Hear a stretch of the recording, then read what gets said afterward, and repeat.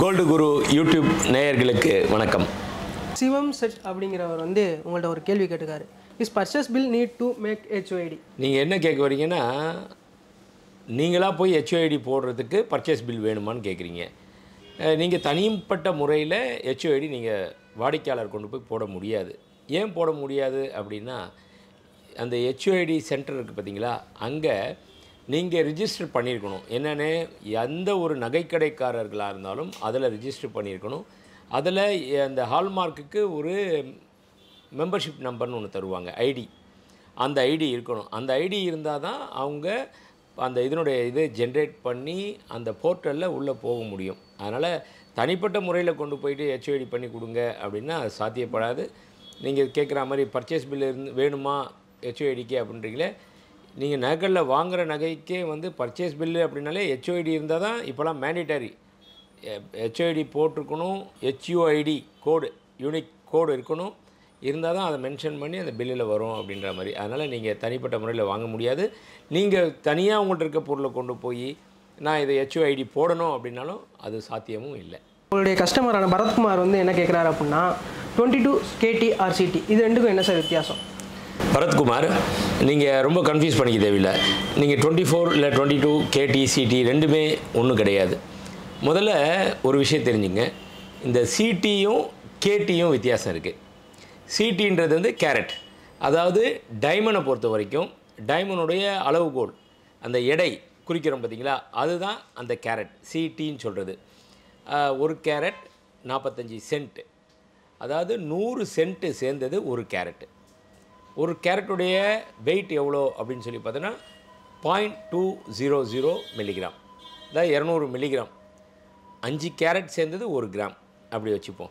So அந்த சீட்டின்றது டைமண்டுக்கு டைமண்டுடைய அளவை எடையை குறிக்கக்கூடிய ஒன்று இப்போது கேட்டிக்கு வரும். கேட்டின்றது என்னென்னா தரத்தை குறிக்கிறது. அதாவது கோல்டை பொறுத்த வரைக்கும் இது என்ன கேரட் அப்படின்றோம் இல்லையா? அந்த கேட்டின்றது வந்து twenty four carat. Twenty two carat eighteen carat fourteen K அப்படின்றது வந்து அதனுடைய தரத்தை குறிக்கிறது ஒரு கேரட்டுன்றது நாலு புள்ளி ஒன்று ஆறு ஆறு சதவீதம். சிம்பிளாக சொல்லப்போனால் நூறு பர்சன்ட் அதில் divided by twenty four carat அப்படின்னா ஒரு கேரட்டுடைய இது வந்து four point one six six into eighteen carat அப்படின்னு சொன்னோன்னு வைங்களேன் அது செவன்ட்டி ஃபைவ் பர்சன்ட் கோல்டு அதில் இருக்கும். டுவெண்ட்டி டூ கேரட் அப்படின்னு சொன்னால் கேடி உங்கள் பாணியில் சொல்ல வரேனே டுவெண்ட்டி டூ கேடி அப்படின்னு சொன்னீங்கன்னா அது வந்து நைன்ட்டி டூ பர்சன்ட் அதாவது ninety one point six six percent அதில் இருக்கும். இதுதான். ஸோ இது பல பேருக்குமே தெரியாத ஒரு இது. கன்ஃபியூஸ் ஆகிப்பாங்க கேடினா என்ன சிடினா சிடி ரொம்ப சிம்பிளாக ஞாபகம் வச்சுக்கணுமா? CT C C to D அதாவது கேரட் டு டைமண்ட் அப்படி வச்சுக்கோங்க? அங்கே அந்த கே இருக்குது பார்த்தீங்களா கேரட்டு அது என்னென்னா ஜிகே ஜென்ரல் நாலேஜ்னு சொல்கிறோம் இல்லையா ஜிகே அப்போது கோல்டு கேரட் ஜி கே அதை வச்சுக்கோங்க. இது வச்சா இது நிறைய நகை கடைக்காரர்களுக்கு கூட சில டைமில் ஒரு சந்தேகம் வந்துடும் அதாவது பழைய ஆட்கள் கிடையாது. புதுசாக இப்போ ட்ரேடுக்கு வந்திருக்காங்க பாருங்களேன். ஒரு மூணு நாலு வருஷம் தான் ஆகிருக்கு தொழில் தொடங்கி.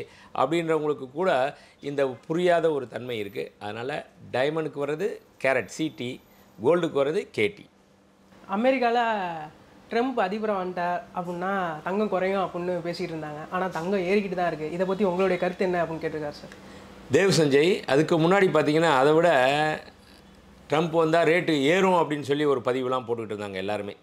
நிறைய பேர்.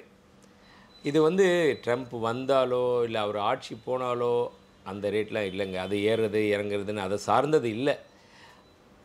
கொள்கை அடிப்படையில் எந்தெந்த கொள்கை எடுக்கிறாங்க அது வேர்ல்டு லெவலில் எங்கே பாதிப்பு வருது இதை பொறுத்து தான் மாற்றங்கள் வருமே தவிர இப்போ ஒரு போர் வருது அப்படின்னா உடனே தங்கத்தில் இம்பேக்ட் வரும்.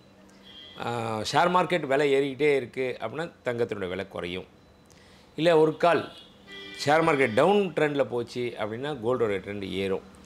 இப்போது தொடர்ந்து பார்த்திங்கன்னா கோல்டு விலை ஏறிக்கிட்டே இருக்குது இதுக்கு என்ன காரணம்? இறங்கிக்கிட்டே இருந்தது அதுக்கு என்ன காரணம்? இப்போ ஒரு ரெண்டு வாரங்களுக்கு முன்னாடி வந்து தொடர்ச்சியாக விலை இறங்கிக்கிட்டே வந்துச்சு. அதற்கு காரணம் ட்ரம்ப்பு வெளியிட்ட அறிக்கை. போரை நிப்பாட்டுவேன் அப்படின்னு சொல்லி ஹண்ட்ரட் பர்சன்ட் சொன்னார் உறுதியாக அதன் எதிரொலியாக பார்த்தோம்னா கோல்டு ரேட்டு கிடுகிடுன்னு குறைய ஆரம்பிச்சிச்சு. ஏன்னா போர் தொடக்கம் அப்படின்னா தான் ரேட்டு ஏறுது எப்பயுமே. அதனால் அதை நிப்பாட்டுவேன் அப்படின்றப்போ ஆட்டோமேட்டிக்காக குறைய ஆரம்பிச்சிது. இப்போ என்ன அப்படின்னு சொல்லி பார்த்தோம்னா திருப்பி உக்ரைன் ரஷ்யா வார் வந்து கொஞ்சம் பதட்டமான சூழ்நிலையில் இருக்குது ஒவ்வொருத்தரும் ஏவுகணைகள் விட்டுக்கிட்டு இருக்காங்க. இதனுடைய தொடர்ச்சியாக விலை கொஞ்சம் கோல்டுடைய ரேட் ஏறிக்கிட்டே இருக்குது இது மட்டும் இல்லாமல் நம்மளுடைய இங்கே அதானி குரூப் ஒரு சர்ச்சையில் மாட்டியிருக்காங்க அதனால் அவங்களுடைய ஷேர் மார்க்கெட் பத்துலேருந்து இருபத்தி ஐந்து சதவீதம் வீழ்ச்சி அடைஞ்சிருக்கு. இந்த மாதிரி ஷேர் மார்க்கெட் டவுன் ட்ரெண்டில் போகிறப்போ ஆட்டோமேட்டிக்காக என்ன பண்ணுவாங்க? நம்ம ட்ரேடர்ஸு நம்ம இன்வெஸ்டர்ஸ் எல்லாருமே அதிலேருந்து சுவிட்ச் ஓவர் பண்ணி வேறு மற்ற முதலீடு. அப்போ கோல்டுக்கு வருவாங்க. அப்போ கோல்டுடைய ரேட்டு ஏற ஆரம்பிக்குது. இதுதான். இந்த மாதிரி மாறி மாறி வருதுங்க. இதனாலன்றது வந்து எப்பயுமே நான் பலமுறை சொல்லியிருக்கேன். ஒரு ஒரு விஷயம் நடந்ததுக்கப்புறம் தான் அதனுடைய காரணங்களை தேடலாம். இல்லை முக்கியமான சில விஷயங்கள் இருந்தால் ஆ இதெல்லாம் வரும் அப்படின்னு ப்ரெடிக்ட் பண்ணலாம். போர் ஏற்பட போகுது போர் அபாயம் வருது அப்படி இப்படின்னா கண்டிப்பாக ஏறலாம். இதற்கு நடுவில் நம்மளுடைய இந்திய ரூபாயோட மதிப்பும் வீழ்ச்சி அடைஞ்சிக்கிட்டே இருக்குது அதாவது எண்பத்தி மூணு ரூபா ஐம்பது காசு கொடுத்து நம்ம ஒரு டாலர் வாங்கிட்டு இருந்தோம். இப்போ எண்பத்தி நான்கு ரூபாய் ஐம்பது காசுகள் கொடுத்து வாங்கக்கூடிய லெவலில் இருக்கும். அதனால் அது ஒரு பக்கம் தங்கத்தினோட விலை ஏறுறதுக்கு காரணமாக இருக்குது நம்ம சேனலை லைக் பண்ணுங்கள் கமெண்ட் பண்ணுங்கள் ஷேர் பண்ணுங்கள் சப்ஸ்கிரைப் பண்ணுங்கள் மறக்காமல் பெல் பட்டனை ப்ரெஸ் பண்ணுங்கள் என்றும் இணைந்திருங்கள் கோல்டு குருவுடன்.